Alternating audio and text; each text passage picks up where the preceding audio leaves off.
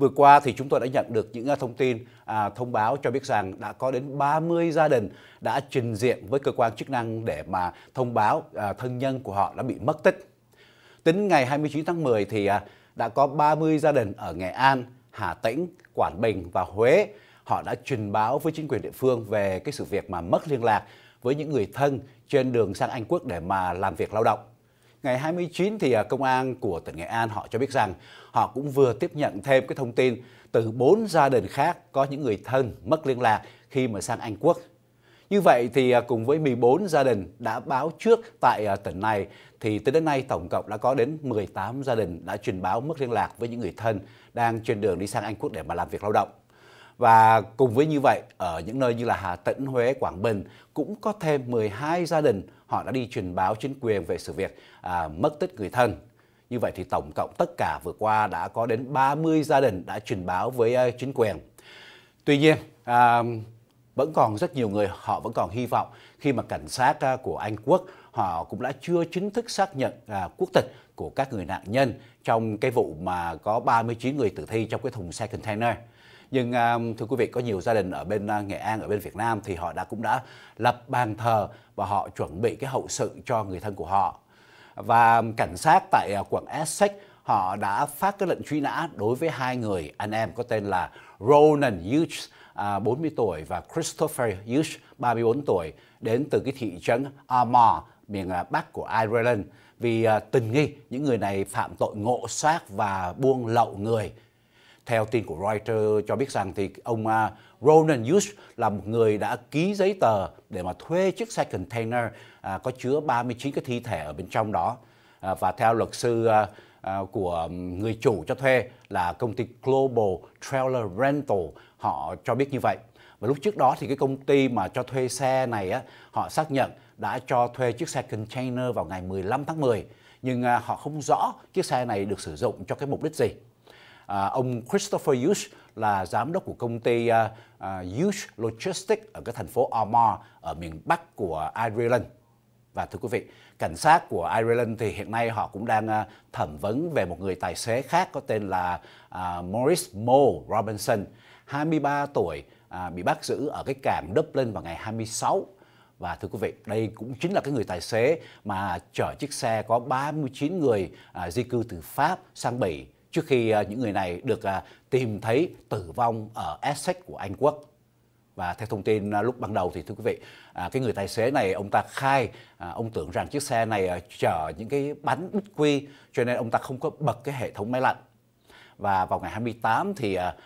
tháng tháng 10 này thì ông Morris Moore này sẽ phải ra hầu tòa tại cái quận Chelmsford. À, đó là một cái tòa án sơ thẩm à, cáo buộc ông Morris à, Robinson với 43 cái tội danh khác nhau. Trong đó có các tội ngộ sát, có tội à, âm mưu buôn lậu người, à, âm mưu hỗ trợ à, nhập cư bất hợp pháp và cũng thêm một cái tội nữa là tội rửa tiền thưa quý vị. Và cái sự kiện mà thưa quý vị 39 người bị tử vong trong một cái thùng xe tải như vậy à, chuyên chuyển vận hàng đông lạnh và được phát giác vào dạng sáng ngày 23 vừa qua đã làm cho dư luận trên cái phạm vi toàn cầu phải rúng động và nó đã đặt ra nhiều cái vấn đề à, làm cho chúng ta phải ngẫm nghĩ sâu đối với cái sự nhận thức về cái quyền cũng như là cái nợ của những cái à, những cái nơi mà phải à, xảy ra những cái vấn nạn như vậy. À, trong cái thùng container đó thì có 31 người là đàn ông và 8 người phụ nữ xấu số đã bị tử nạn vì họ muốn nhập cảnh trái phép vào Anh Quốc và không có một cái thảm cảnh bắt nguồn từ cái nỗ lực phạm pháp của họ à, từ giữa những cái tuần trước đến nay. Cảnh sát của quận Essex ở Anh Quốc nơi mà phát giác ra cái thảm nạn. Và vì vậy đã trở thành một cái cơ quan phải à, thụ lý cái vụ án này. Và họ phải tổ chức điều tra, phải làm việc rất là cực lực để mà truy tìm ra thủ phạm và để mà xác định cái sự thật à, là gì, chuyện gì đang xảy ra như đang thấy hiện nay.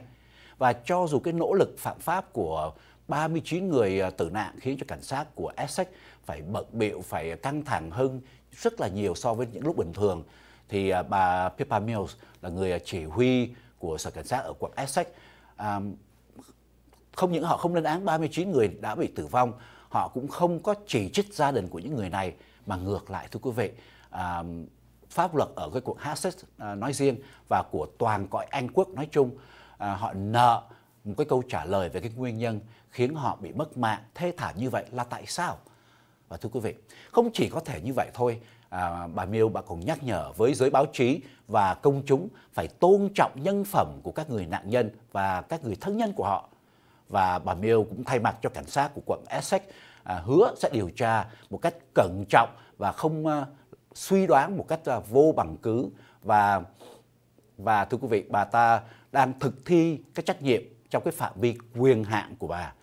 Và và ngoài ra bà cũng vẫn phải uh, xin lỗi các người cá nhân doanh nghiệp bị ảnh hưởng bởi cái cuộc điều tra tại cái khu công nghiệp uh, Waterclay này.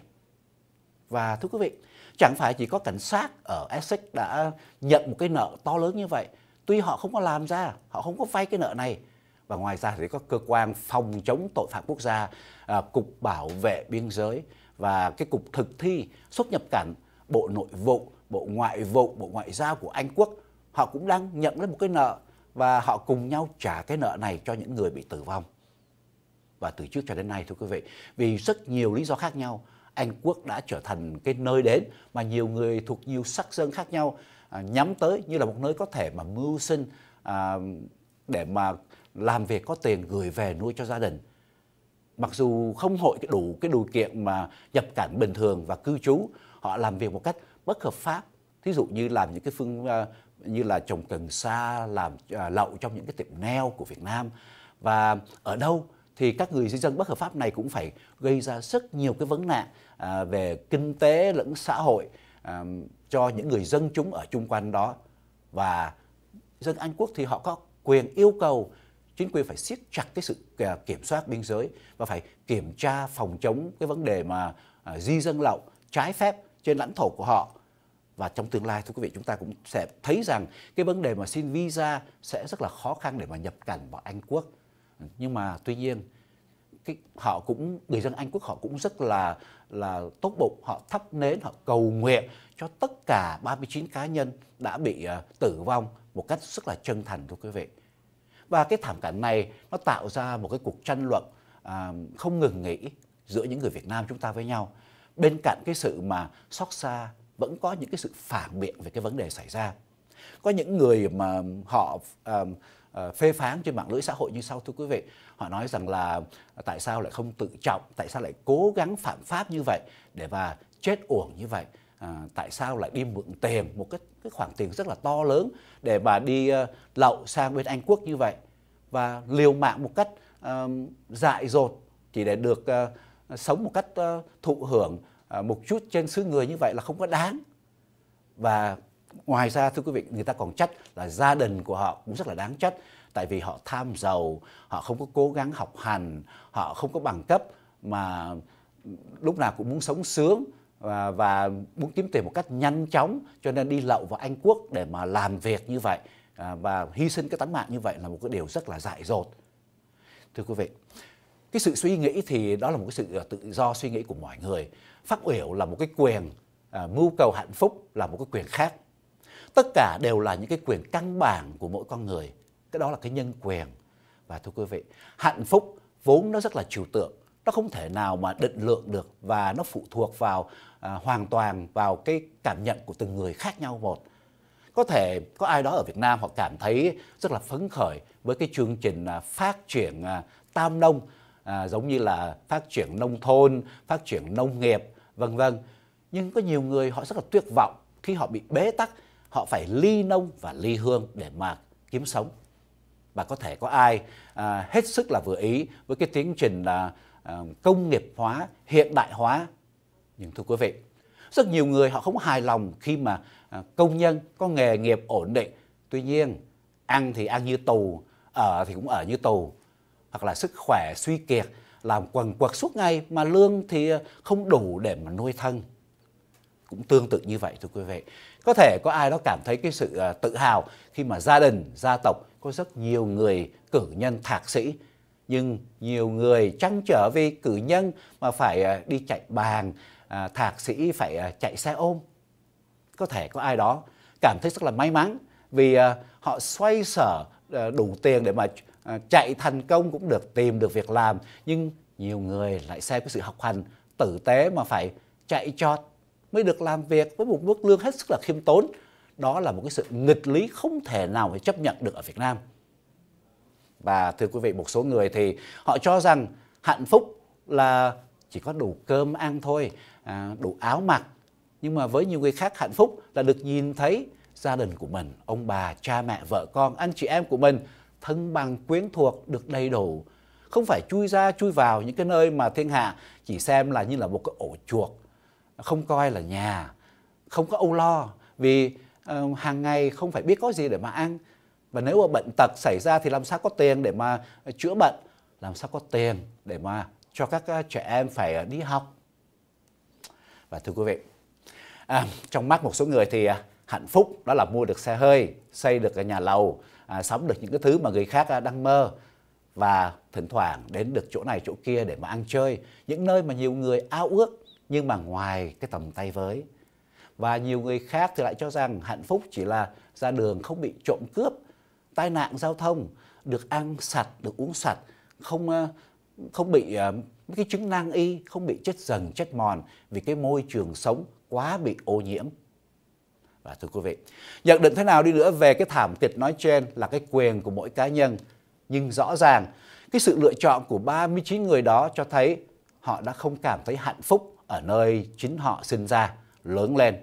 Họ chấp nhận phải trả giá rất là đắt, chấp nhận đến chính cái sinh mạng của họ. Và họ làm rất là cực lực để mà đặt cược, để mà đạt được đến cái hạnh phúc. Theo cái quan niệm riêng của họ và có cả đến triệu người Việt Nam đã và đang mưu cầu hạnh phúc theo cái kiểu như vậy đó là rời khỏi Việt Nam bỏ lại cha mẹ vợ chồng con cái anh em để đi làm dâu làm à, người mướn ờ, bất hợp pháp hoặc là làm điếm, làm trộm cắp, làm phạm pháp ở nơi xứ người. Và nhờ vậy thì trên khắp Việt Nam có nhiều gia đình, nhiều khu vực mới có cái cơ hội được thấy à, à, thay da đổi thịt à, nhưng cũng nổi tiếng vì nghèo đói mới có những cái à, à, cái xã có đến hàng ngàn tỷ phú. Tuy nhiên thì à, cũng vì vậy mà hình thành những cái khu vực không có người đàn ông hoặc là không có phụ nữ, trẻ em không có mẹ, à, không có cha hoặc là ngược lại từ khi nào mà người dân Việt Nam phải chấp nhận cái hoàn cảnh như vậy và để có một cái sự ổn định cho tương lai của chính bản thân và thân nhân của họ. Và thưa quý vị, trong cái nhận thức của nhiều người dân Việt Nam, mưu cầu hạnh phúc cho bản thân của mình và cho những người khác dường như là không phải là một trong những cái quyền tối thượng. Và đó là một cái lý do khiến cho rất nhiều người miệt thị à, nói rằng đó là tị nạn kinh tế và thưa quý vị, đó cũng là cái lý do khiến cho những cái sắc dân khác tự nhận nợ khi mà chứng kiến đồng loại à, một loạt phải thảm tử cho con đường đi tìm cơm no, áo ấm. Tuy nhiên cũng rất là nhiều người Việt Nam thì à, không kể cả khi đồng loại, chính đồng loại của mình đã tử vong như vậy nhưng mà không thương tiếc. Và cũng rất nhiều người Việt Nam không cảm thấy nợ tổ tiên, những người à, tiền thân à, đã khai à, khai thác cho chúng ta được sống một cuộc sống bình yên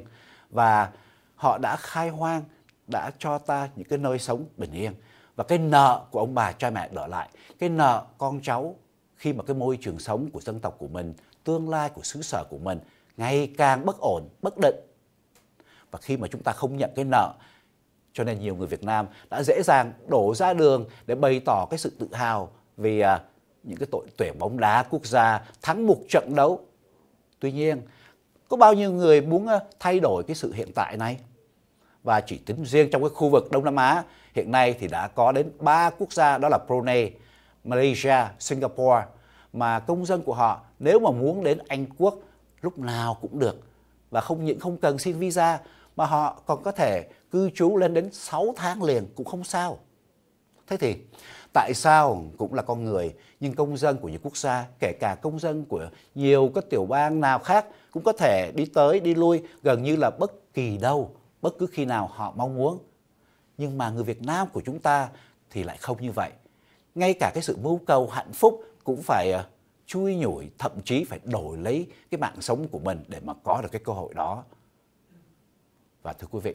cái sự dễ dãi của người dân Việt Nam của chúng ta, cái quan niệm của nhiều người dân Việt Nam chúng ta về hạnh phúc, cái sự coi thường quyền mưu cầu hạnh phúc của người khác nơi người Việt cái sự à, à, thanh thản vì à, luôn luôn tự thấy chẳng phải nợ ai cả. Từ đồng bào tới đồng loại có tương quan như vậy. Thế nào?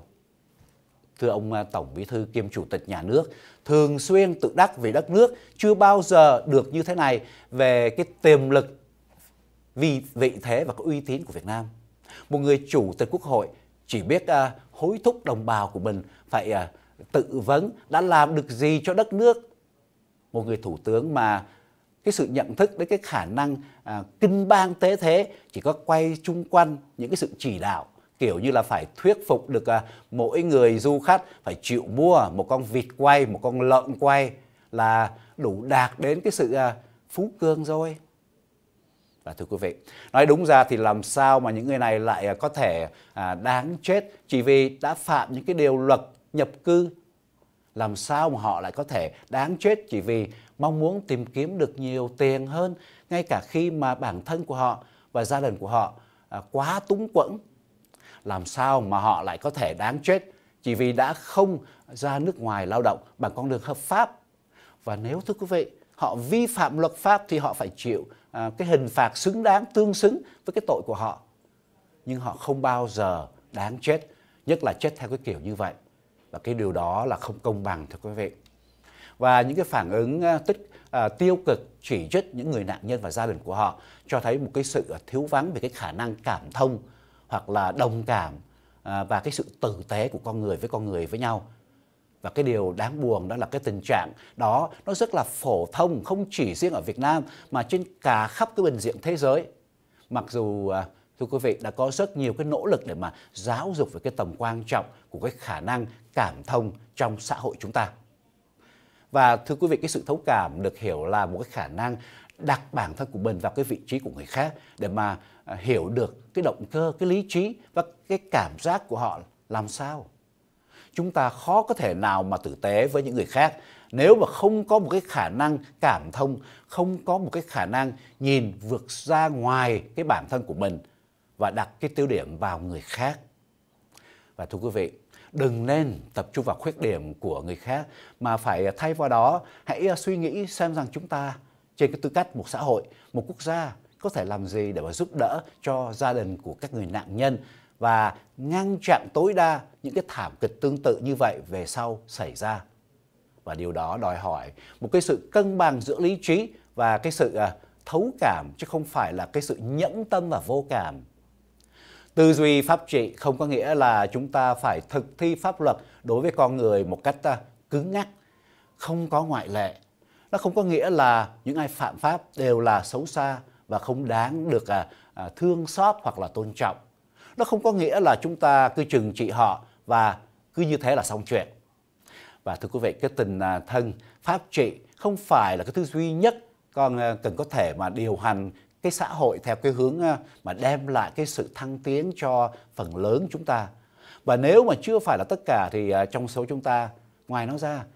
chúng ta còn phải có một cái ý thức về đạo đức căn bản về ờ, sự công bằng và cái sự tử tế thưa quý vị cái thảm kịch vừa xảy ra à, nó phải được nhìn nhận như là một cái sự thất bại và một cái bài học cho tất cả chúng ta trên tư cách một xã hội và một quốc gia à, thưa quý vị sau đây là cái, câu nói của tiếng Anh à, họ nói rằng no one is above the law but no law is above the basic decency justice and kindness. À, chúng tôi sẽ được tạm dịch như sau. Không ai đứng trên được pháp luật. Tuy nhiên, không có một cái luật pháp nào đứng trên sự đạo đức căn bản, lẽ công bằng và sự tử tế.